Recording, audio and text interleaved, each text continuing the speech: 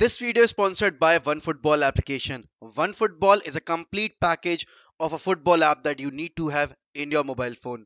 सबको पता है वर्ल्ड कप आने वाला है चैंपियंस लीग के ड्रॉ इतने इंटरेस्टिंग निकले हैं यूरोपा लीग में आई x Juventus Barcelona United Arsenal जैसी टीमें हैं ऑल्सो ट्रांसफ़र मार्केट बहुत ज़्यादा नज़दीक है so if you need to keep a track on everything if you need to keep a track on your favourite player और your favourite club then one football application has to be your go-to destination. It keeps you up to date with all the transfer rumors, match day live commentary, and recently they've also started to stream ISL games. If you're living outside India, then one football is your perfect solution to watch ISL games as well. So without wasting any time, head over to the link given in description, download the OneFootball app now and enjoy this brilliant footballing season for yourself. तो finally कल रात में भाई Argentina का squad भी आ चुका है और सबकी निगाहें स्क्वाड पे इसलिए भी बनी हुई थी क्योंकि ये मेसी का आखिरी वर्ल्ड कप होने वाला है।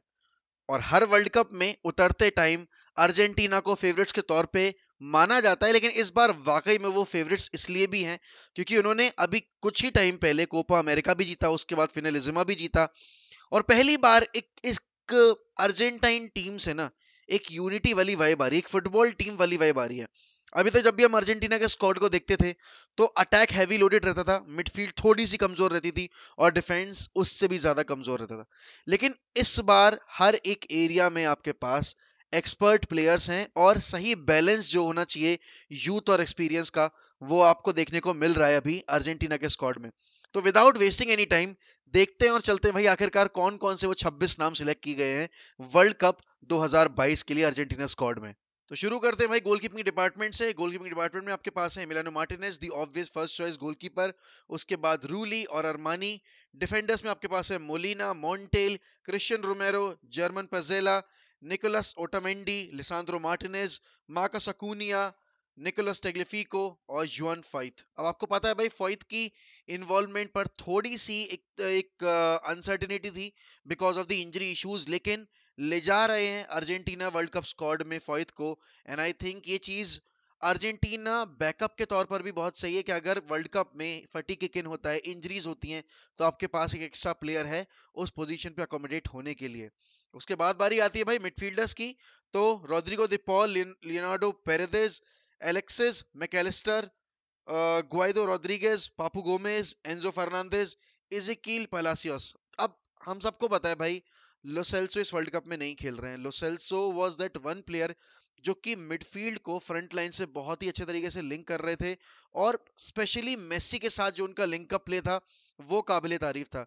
अब यहाँ पर लोसेल्सो की अनअवेलेबिलिटी में आखिर कौन सा वो तीसरा मिडफील्डर होगा जो ये काम करेगा? अभी सबकी निगाहें जो हैं, वो एंजो फर्नांडिस के ऊपर हैं बिकॉज़ बेनफिका के लिए खेलते हुए एंजो फर्नांडिस बहुत ही अच्छा परफॉर्म कर रहे हैं एंड इसी वजह से बहुत सारे प्रीमियर लीग क्लब्स भी उनको टारगेट कर रहे हैं इंक्लूडिंग मैनचेस्टर यूनाइटेड क्योंकि अभी लेटेस्ट रिपोर्ट के अकॉर्डिंग यूनाइटेड टारगेट कर रही है एंजो फर्नांडिस को समर मार्केट के लिए।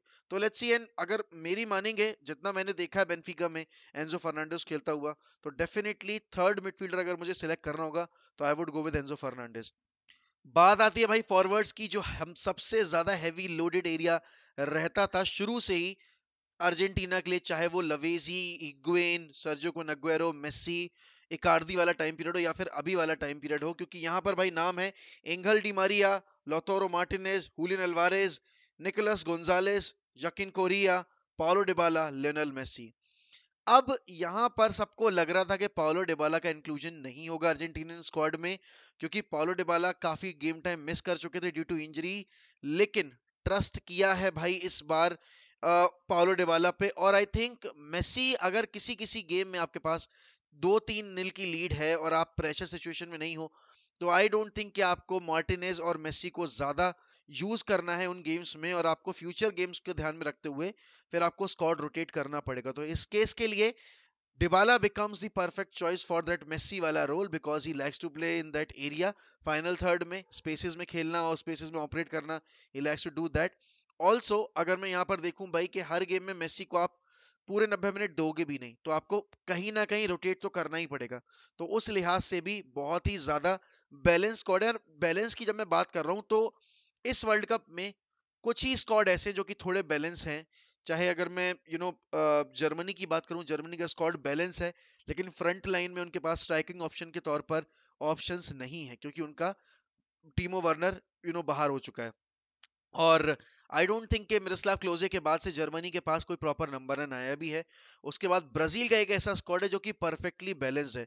हर एक एरिया में उनकी प्लेइंग स्टाइल के अकॉर्डिंग उनको यू नो प्लेयर्स मिल रखे हैं और भाई बेहतरीन बैकअप भी हैं उनके पास अपने पूरे स्क्वाड में। Same can be said about Portugal as well same can be said about France as well and same can be said about Argentina as well क्योंकि अर्जेंटीना के डिफेंस की अगर मैं बात करूँ तो यहाँ पर मैं थोड़ा सा लिसांद्रो मार्टिनेस के फेवर में हूँ। क्यों मैं ओटामेंडी को नहीं यूज़ करना चाहता? बिकॉज़ ओटामेंडी आई नो कि वो प्रिफर्ड यू नो प्लेयर रहते हैं उनके सेंटर बैक एरिया में, लेकिन जिस तरह का रीसेंट रन ऑफ़ फॉर्म है भाई लिसांद्रो मार्टिनेस का तो I would definitely go with Cristian Romero and Lisandro Martinez then obviously बात है टेरियाफी को आपके एक विंग पे हो गए और आपके राइट बैक के तौर पर हो गए आपके, चाहे आप मोलिना को यूज़ कर लो, चाहे मॉन्टेल को यूज़ कर लो। ऑल्सो अगर मैं यहाँ बात करूँ भाई यू नो अप्रोच की अर्जेंटीना की तो उनको पता है अर्जेंटीना कभी भी ब्यूटीफुल फुटबॉल नहीं खेलती है, ठीक है ना? अर्जेंटीना एक रिज़ल्ट ओरिएंटेड टीम है, एंड आई थिंक कंपटीशन जीतने के लिए आपको रिज़ल्ट ओरिएंटेड ही होना ज़रूरी है, क्योंकि यहाँ आपको लीग नहीं जीतनी है कि आपको बिल्डअप करना है, आपको मौके अड़तीस गेम वीक में मिल जाएँगे। दिस इज़ अ टूर्नामेंट जहाँ पे आप ग्रुप से क्वालिफाई किए तो आपको नॉकआउट राउंड खेलना है, एंड यहाँ होम और अवे का चक्कर नहीं है। It's just that one game knockout में हारे तो हारे, जीते तो जीते। और अगर हारे तो टूर्नामेंट से बाहर। एंड इस पॉइंट ऑफ़ टाइम पे भाई, सारी टीमों का अप्रोच यही होगा कि कैसे भी करके रिज़ल्ट निकालने हैं rather than focusing on the quality of the game play we have to focusing और you know we have to focus on the outcome of the game तो यहाँ पर भाई मिडफील्ड की अगर मैं बात करूँ तो भाई आपके पास रोद्रिगो देपॉल है। ना जैसे हम कल कैंसेलो और बर्नाडो सिल्वा के बारे में बात कर रहे थे कि वो मैन सिटी में खेलते हैं तो वो अलग होते हैं और जब वो पोर्चुगल के लिए आते हैं तो वो अलग होते हैं। यहाँ पर भाई रोड्रिगो दिपॉल का भी केस सेम है, लेकिन उल्टा हो चुका है। क्लब के लिए he is not performing well because of the manager या फिर प्लेइंग स्टाइल बोल लो आप।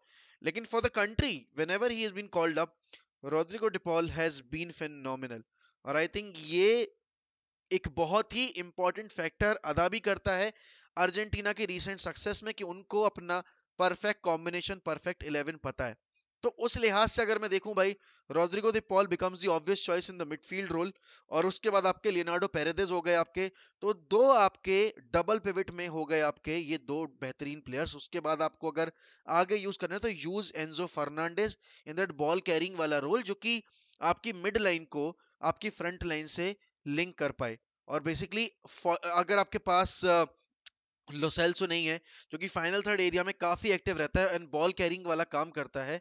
और लिंकअप प्ले के मामले में लोसेल्सो ने बहुत इनपुट दिया है अपना अभी रिसेंट टाइम्स में।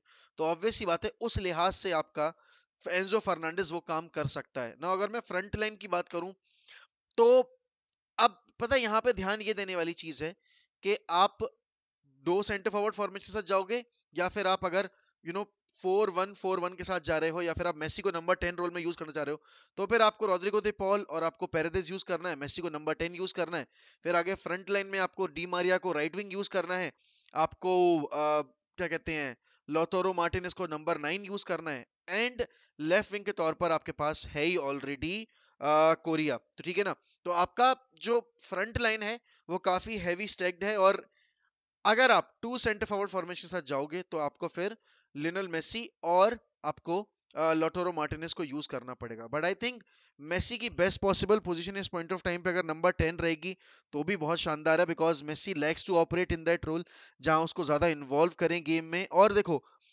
यहाँ पर अब टीम सिलेक्शन की तो बात उतनी ज़्यादा करने का मतलब बनता नहीं है बिकॉज़ टीम सिलेक्शन जो आपके अर्जेंटीना की रहती है, वो बहुत ही सॉर्टेड आउट है, इतना कुछ वो चेंजेस करते नहीं है। बात करनी है यहाँ पे अप्रोच की कि आखिरकार अर्जेंटीना का अप्रोच होगा क्या वर्ल्ड कप में? तो भाई देखो यार, इस बार ना एक अलग वाइव है। वो 2011 का वर्ल्ड कप याद है? जब India team cricket world cup में पार्टिसिपेट कर रही थी और हर किसी का एक ही एम था कि सचिन पाजी के लिए वर्ल्ड कप जीतना है। कुछ ऐसी वाइब है अभी अर्जेंटीना स्क्वाड के यू नो अभी उसमें बेसिकली ड्रेसिंग रूम में कि मेसी के लिए वर्ल्ड कप जीतना है। एंड कोपा अमेरिका में आपने देखा था कि कितनी यूनिटी थी टीम में कितना कलेक्टिव इनपुट दिया था सारे प्लेयर्स ने। और अगर मैं यूनिटी वाइज बात करूँ ना तो जर्मनी ब्राज़ील इन दोनों नेशन को छोड़कर मुझे सिर्फ़ अर्जेंटीना ऐसा तीसरा नेशन दिखाई दे रहा है जिसमें बहुत ही शानदार आपको यूनिटी दिखाई दे रही है। ना? हाँ नेदरलैंड्स का स्कॉड भी आप कह सकते हो कि उस लिहाज से काफ़ी सही है।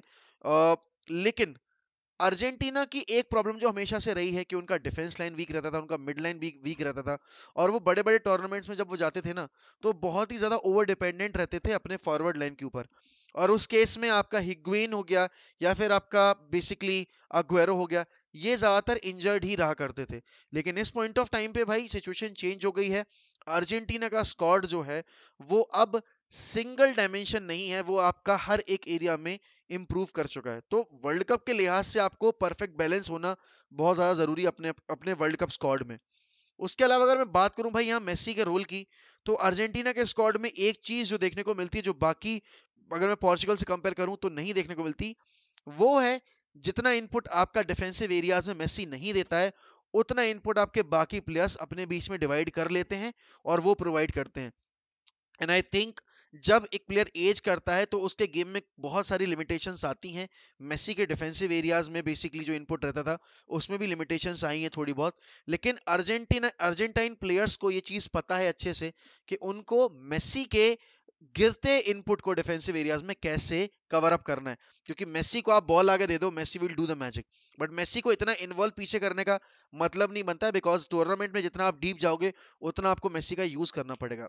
लेकिन एक तरीके से जो ओवर डिपेंडेंसी थी अभी तक इतने सारे टूर्नामेंट्स में मेसी के ऊपर, वो थोड़ी डिवाइड कर ली भाई बाकी प्लेयर्स ने. एंड आई थिंक सबसे अच्छी चीज़ जो हुई है पूरे अर्जेंटाइन स्क्वाड में वो है लॉटोरो मार्टिनेस का इंक्लूजन बिकॉज़ वो प्रेसिंग बीस्ट है, वो लगातार बिना इंटेंसिटी ड्रॉप किए हुए आपका एक ही लेवल पर खेल सकता है एंड वो अगर सेकंड स्ट्राइकर फॉर्मेशन में आप उसको यूज़ करोगे या फिर टू सेंटर फॉरवर्ड फॉर्मेशन में यूज़ करोगे तो वही वो मेसी को बहुत अच्छे से कॉम्प्लीमेंट भी करेगा।